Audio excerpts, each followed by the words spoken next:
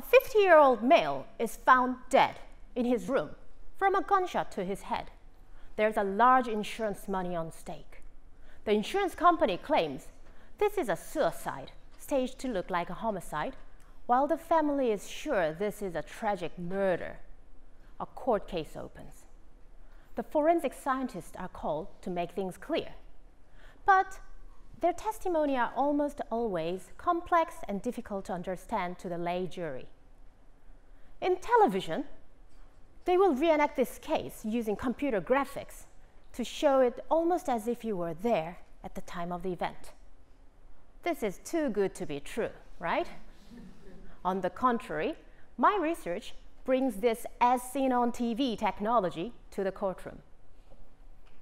The crime scene and the victim's body, along with other important evidence, are scanned and replicated virtually. The objects and the body can be moved and positioned according to different scenarios. The trajectory of the blood spattered from the gunshot is calculated to show where they would land. This spatter pattern is directly comparable to the crime scene. The slide shows a case simulation of a homicide. You can see that there will be a large amount blood splattered to the right in the direction of the bullet. This is what you usually see in the television.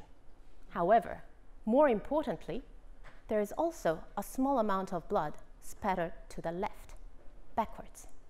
This is called the backspatter and is the key evidence in solving this case.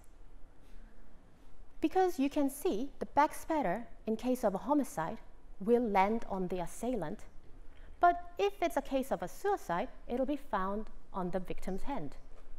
The police did not find any backspatter on the victim's hand, making this a homicide, but they did find it on the wife's hand. Ironically, making the family right. My simulation makes the comparison between homicide and suicide visual, intuitive, and easy to understand. It makes a great presentation at the court, and it will help bring murderers to justice. Virtual crime scene investigation is no longer just a fiction. My research is bringing it to reality. Thank you.